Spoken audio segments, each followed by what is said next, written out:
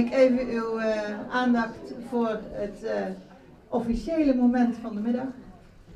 Wij gaan namelijk nu de eh kunstroute geopend zien worden door Cor Delissen. Dames en heren, een kleine twee maanden geleden meldde zich aan de balie van Groeiend Best een klein vrouwke. Die wilde iemand van de redactie spreken. Dus ik ga erop af. Hallo, ik ben Cor Delissen.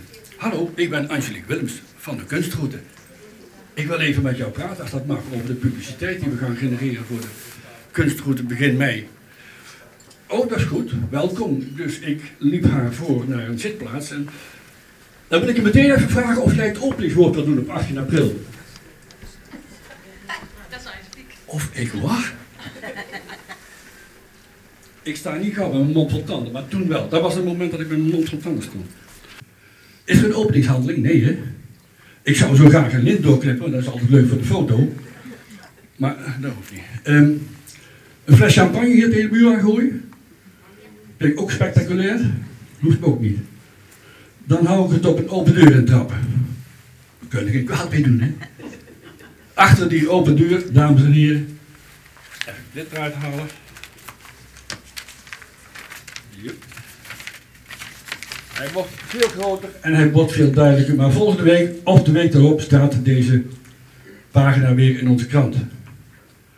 Achter die open deur staan 24 andere deuren van u als, als exposant.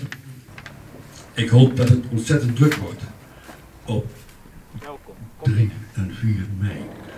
Ja, 4 mei. Want u stelt zich open, u geeft zich bloot voor mensen om te komen kijken en om kritiek uit te oefenen op uw werk. Lovend, ik hopen. En daar heb ik bewondering voor.